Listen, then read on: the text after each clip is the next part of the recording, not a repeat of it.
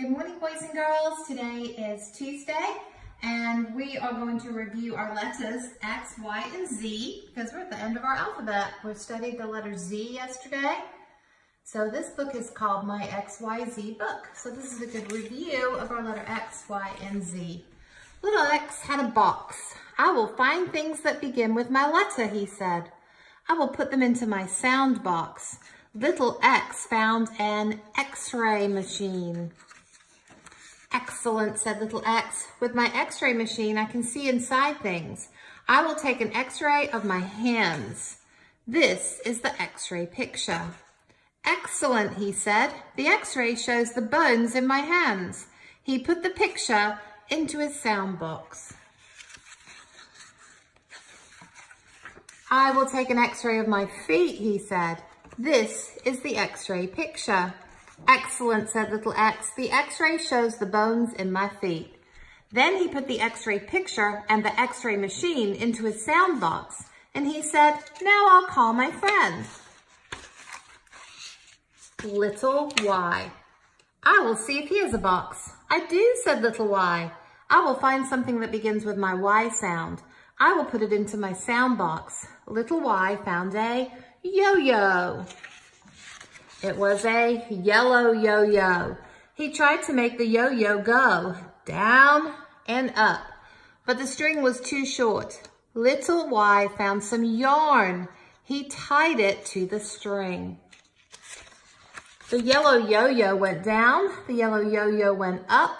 Little Y turned his box upside down. He stood on his box with the yo-yo, and he said, now I will call my friend. I little Z and see if she has a box. And of course I do, said little Z. I will find things that begin with my Z sound. I will put them into my sound box. She found a zebra. And another zebra and another zebra.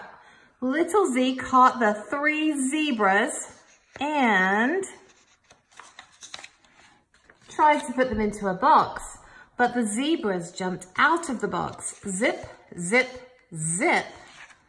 They ran, ran zigzag, look at them going zigzag, down the road.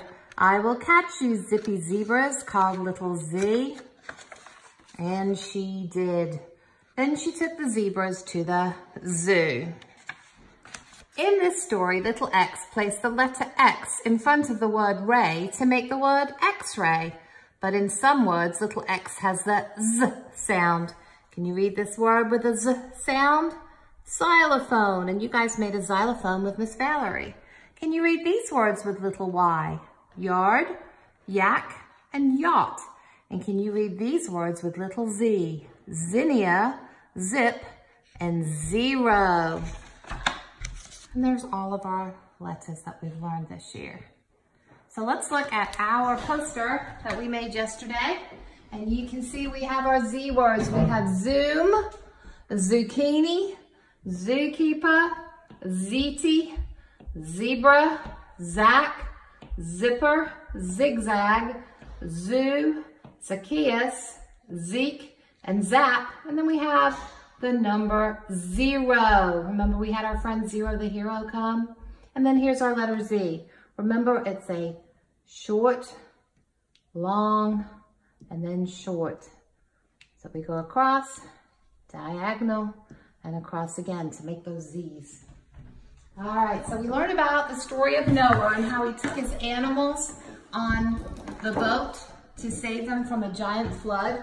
Now he was on that boat for 40 days and this is the number 40. So we're gonna count, first of all, by ones all the way to 40, and then we'll count by tens, just like we learned to do at school.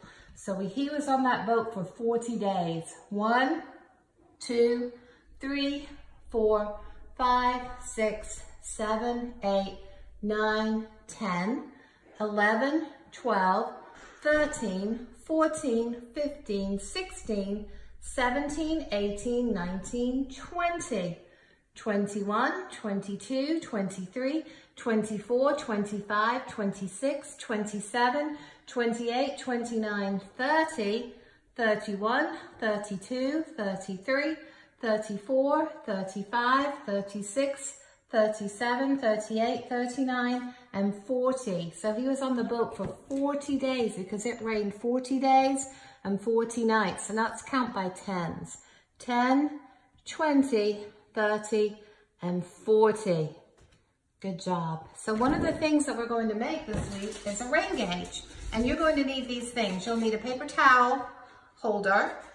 You'll need some aluminum foil. You'll need some duct tape. I have zebra print duct tape. And you'll need some rice. Now the first thing you're going to do is take your duct tape, just kind of a small piece, and close up the end of your paper towel holder so that nothing can get through. If you hold it up to the light, you can't see through it. So you stick that on there. And then you might want to take your markers and decorate. You can decorate it with dots or zigzags or whatever you want to put on to make your rain gauge look, or your rain stick look really pretty.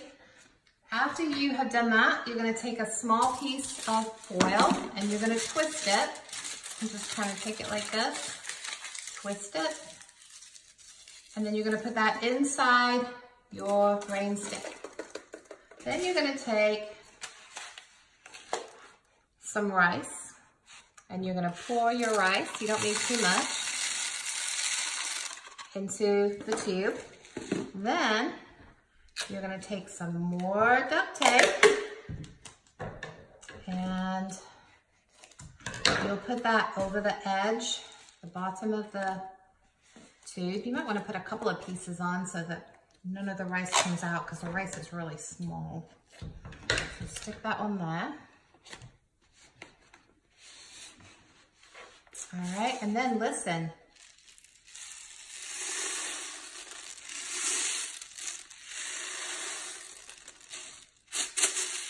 can hear the rain. If you shake it, it makes really loud rain. If you do it softly, it makes really quiet raindrops.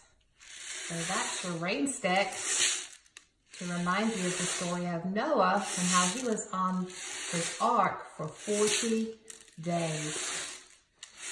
There you go. All right, friends, I hope you have a great day and I'll see you again for another video on Wednesday and then we'll have our Zoom call on Thursday. Don't forget to make your zoo animal. I'm gonna be showing you how to make a zoo animal tomorrow and um, don't forget our estimation jar, which is right here. So remember, you're going to be thinking about the number of counters in our estimation jar and then making that zoo animal for show and tell on Thursday. Hey, have a great day. I love you all. Bye.